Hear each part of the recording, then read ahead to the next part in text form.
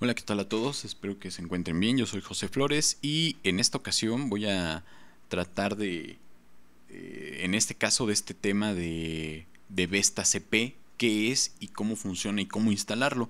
Bueno, Vesta, eh, como les había platicado en otra ocasión, es un eh, software eh, lo puedo llamar así software porque es un depende de varias paqueterías para hosting. Inclusive aquí pues en su página oficial vestacp.com o vestacontrolpanel.com pueden encontrar que precisamente es un servidor de, hosting no es un panel de control para servidor de hosting sí que sería lo correcto. En este caso pues les voy a mostrar eh, cómo se instala por qué lo deben de configurar de x manera para que tengan ustedes la mejor personalización o las mejores opciones para eh, ya sea su empresa, si ustedes quieren empezar su propio hosting o si lo quieren utilizar de manera personal o para pruebas. Entonces, eh, está muy sencillo, la verdad. Si ustedes eh, conocen cPanel o si no conocen de ningún panel de control hasta este momento, esta es la ocasión para darse la oportunidad de conocerlo, ya que en, los mundos, en el mundo del hosting, el rey de los paneles de control es eh, cPanel, seguido de Plesk, eh, que también es un panel de control muy bueno. Es tanto gratuito en algunas cosas y de paga para otras opciones, por ejemplo, para hacer pagos, eh, tener un panel de administración, revendedor y todo eso, igual que eh, cPanel, que tiene uno que se llama WHM, que es un panel de administración para revendedores de hosting o enlazar otros hosting con otros hosting, hacer planes, paquetes, etcétera, hacer pago, recibir facturas, muchísimos complementos de paga, ¿no? Estos son muy sencillos. Vesta CP es un panel de control muy muy sencillo, es decir, tenemos los servicios conocidos como web, eh, FTP, eh, bases de datos, conexión a través de SSH en algunas ocasiones. Eh, bueno, en algunos paneles me parece que en Vesta sí viene. Y digo me parece porque yo no lo he utilizado al 100, utilizo un fork que después también se los muestro. Eh, un administrador de archivos, pero ese es de paga. Y también tiene precisamente para hacer planes, este, ponerlo en, en, estos modos. ¿sí? Eh, limitar usuarios, entre otras cosas. Correo electrónico también. Aquí lo que vamos a hacer es precisamente ver la instalación. No es muy complicada, eh, pero les quiero comentar acerca de las ventajas y desventajas. Bueno, Vesta es, es cuando tienes un, servidor que a lo mejor te sobra o que vas a invertir en él en algún BPS, en algún servidor dedicado o bar metal, en el cual tú quieres empezar tu negocio de hosting eh, o migrar tus propios clientes que tienes en otros paneles a tu propio servidor, porque a lo mejor y te sale más, más económico, mejor rendimiento y todo este tipo de cosas. ¿Por qué? Porque aparte tiene un soporte que es Softaculous, donde es un constructor precisamente de sitios. como un constructor? Bueno, en este constructor de sitios tú puedes hacer una instalación automática de un WordPress, Motley, Joomla, Drupal, PHP Nuke, etcétera, ¿no? Muchísimos aplicativos como para sitios de calendarios, eh, de organizadores, wikis, agendas electrónicas, eh, eh, ofimáticas, ERPs y todo eso, obviamente que estén construidos en PHP, bueno, HTML y JavaScript, CSS y tengan conexión con base de datos. Aquí la, la ventaja, a diferencia de, de cPanel, que creo que sí lo maneja, pero no muchos lo proveen, es que también aparte de MySQL o MariaDB, te ofrecen eh, Postgres. Entonces puede ser tu proyecto todavía más potente con este tipo de herramientas. ¿sí? Aquí como vemos también lo puedes lanzar en una máquina de S2 de, de Amazon Web Service para que tú tengas tu máquina eh, virtual, ¿sí? Porque en sí es S2, es de máquinas virtuales, entonces tú ya eliges cuánta RAM, cuánta, cuántos CPUs, cuánto, no me acuerdo si ancho de banda también, o venga ya en el paquete, tamaño de disco duro, eh, y ya lo montas y ya queda, ¿sí? Pero bueno, ahí tiene sus, sus integraciones. Eh, esto es como se va a ver el panel de control. Es muy intuitivo, muy rápido.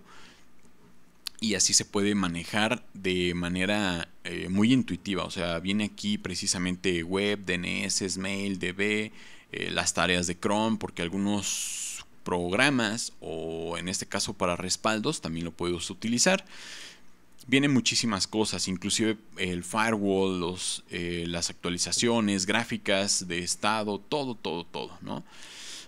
Ahorita se los voy a mostrar. Eh, lo que vamos a hacer, eh, bueno, aquí habla mucho de la seguridad que contiene un firewall, eso es cierto. Eh, utiliza, si no mal recuerdo, UFW y pues tiene monitoreadas los servicios como Apache, Xim, SSH, entre otros. Entonces no te preocupes, Vesta va a ser prácticamente todo automatizado y ahorita lo vamos a ver. ¿En qué idiomas está? Pues está en todos estos que vemos aquí, incluyendo español, ¿sí? Entonces no hay problema. Si estuviera en inglés no hay problema, pero también está la ventaja de que esté en español, así que no pasa nada. Tenemos un monitor de, del sistema que ahorita vamos a ver, donde precisamente nos dice cuánto, cuánta carga hay promedio. Eh, de memoria, de ancho de banda, este, cómo funciona Apache, Nginx, eh, Exim, MySQL, FTP y SSH.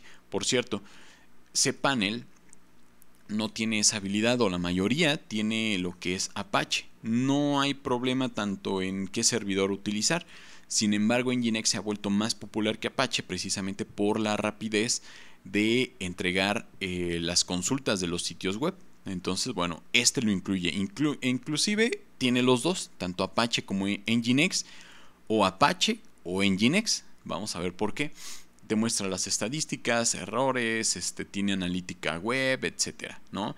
Respaldos automatizados y hasta una interfaz en línea de comando, la cual tú puedes aprovechar para precisamente llevar la administración de todo lo que se ve en el panel este, vía gráfica web, ¿no? Todo este panel lo obtienes en, un CLI o en una línea de comandos. Está muy, muy bueno también. Las características, esto es lo importante. Aquí podemos utilizar tanto IP tables como fail to ban o los dos. Ahorita lo vamos a ver. El DNS es named. A diferencia de muchos, utilizan otro servicio de otro servidor de DNS. Eh, se me olvidó el, más común que, que se ocupa uh, Bint 9, ¿sí? Es el que se ocupa. De web podemos tener Nginx y Apache, ¿sí? Eh, hacen un proxy reverso, esto es lo más interesante, o puedes utilizar Nginx con PHP FPM, que es también una característica de PHP para entregar eh, sitios web con, um, me parece que con una capa de seguridad y también con rapidez, entonces ahí lo puedes hacer, o con Apache. ¿Por qué lo pone así? Ahorita vamos a ver por qué tiene lenguajes de programación, en este caso de script, como PHP. Las herramientas de monitoreo están Monit, eh, Webalizer, AWS Stats y RRD Tool. De correo electrónico tenemos, eh, bueno, esto es para seguridad, Spam Assassin y ClamAB. ClamAB es un antivirus y Spam Assassin es una solución de anti-spam. Entonces, así lo, lo maneja. Ahorita está en esta línea porque es opcional o podemos utilizarlo o no, o una de las dos. ¿sí? los servicios o las tecnologías de correo es Dovecop para recibir mensajes a través de IMAP y POP3 y Exim para poder enviar. Aquí viene RoundCube porque es un gestor gráfico de, de, correo electrónico. Entonces tú entras al panel como si entraras a Gmail, a Hotmail y vía web puedes consultar el correo, enviar y recibirlos también.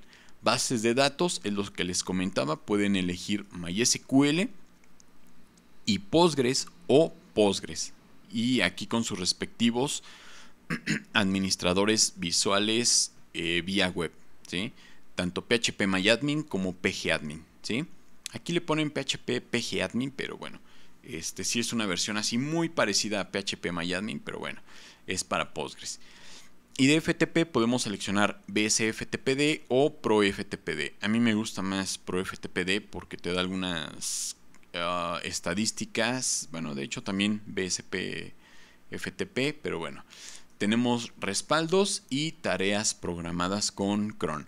Los sistemas operativos aquí hay un poco de problema precisamente porque estos sistemas nada más trabajan con Debian 7, 8 y 9 y Ubuntu 10.04 y 18.04, perdón, 12.04 y 18.04. La 12 ya no está disponible, la 14 ya no es recomendable y mucho menos la 16. La que está ahorita activa es la 18, que ya el siguiente año pues ya se va a acabar el soporte y lo podemos manejar así. O pueden elegir Red Hat este, y CentOS en su versión 5, 6 o 7. Que la 7 es la más estable, aunque ya salió la 8 y próximamente la 9 de estos sistemas. Entonces es gratuito y funcional.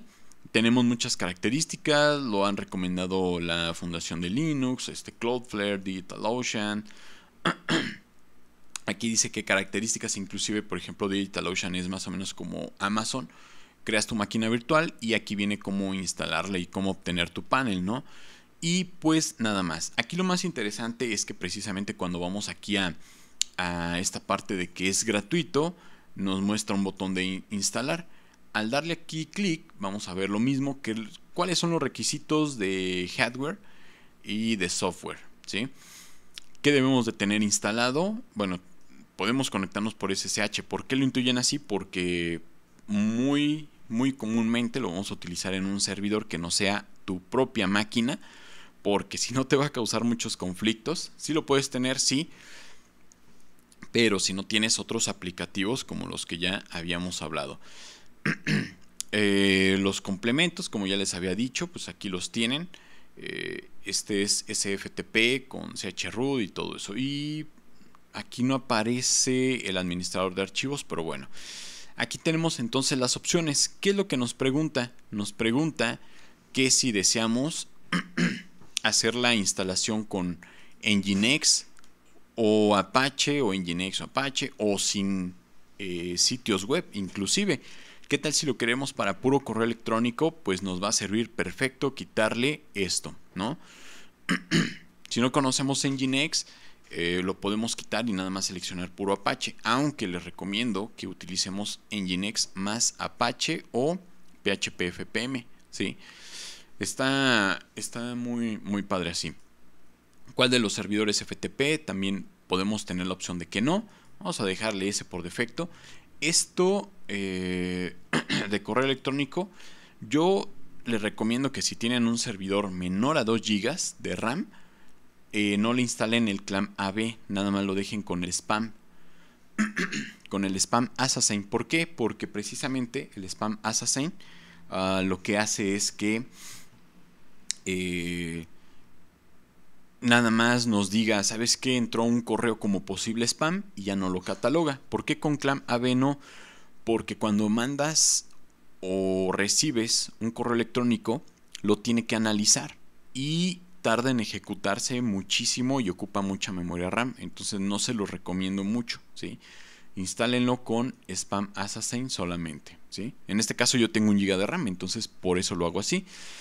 El DNS, pues nada más tengo uno, Name yo no lo uso porque utilizo otro servidor DNS, por ejemplo el de Godaddy, que ahí lo, puedo tener.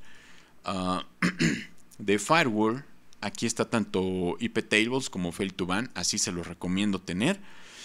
Softaculous nos da una pequeña licencia y limitaciones. Si ustedes lo quieren agregar porque van a, creen que van a tener clientes que se van a interesar, agréguenlo, ¿sí? Si no, no lo agreguen ni lo ofrezcan. Entonces yo no lo voy a instalar porque también se va a tardar en instalar un poco. Y repositorios adicionales, Remi, pues bueno, eso lo dejamos. Cuota de disco. Yo insisto, si ustedes quieren hacer un hosting porque van a revender sus servicios, lo pueden hacer a través de esta manera. ¿sí?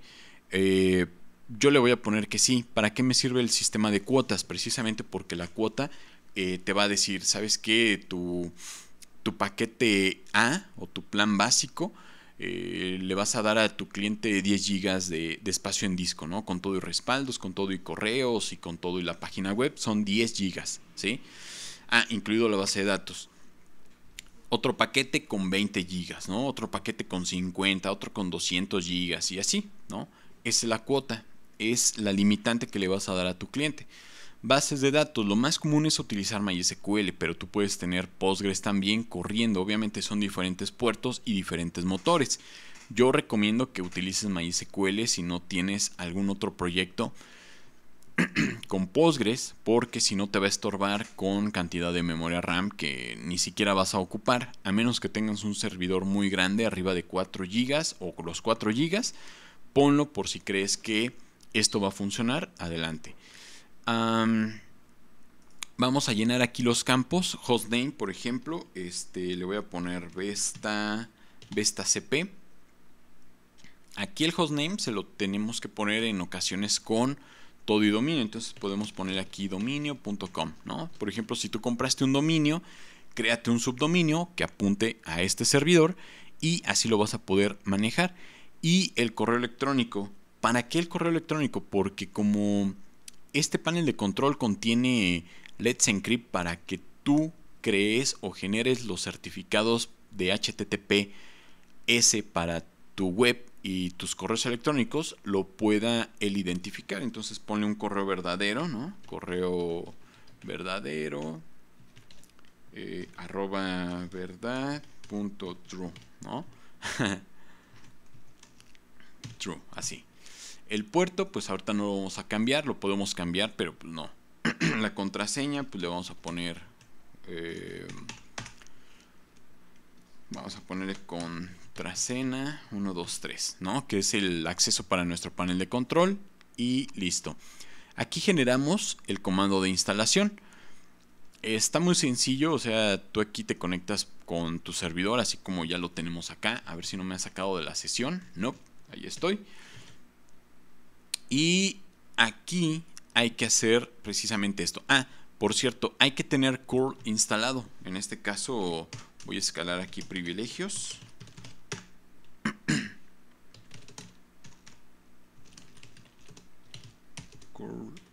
También voy a poner wget y sudo de una vez porque en este servidor no tengo nada. Ah, parece que ya están. Y ahora sí, dice instálate, digo, este, cópiate el, bájate el, script de instalación. Ahí está, no tarda mucho. y vamos a correr el siguiente comando. ¿Qué es lo que indica aquí? Precisamente todas las opciones que hemos puesto. ¿sí? Si nosotros cambiamos una de que nada más queremos Apache, por ejemplo, generamos otra vez el instalador y aquí tenemos que Nginx no se va a instalar. ¿sí? Entonces, eh, así, si cambiamos alguna opción, lo volvemos a regenerar para que nos dé la línea correcta.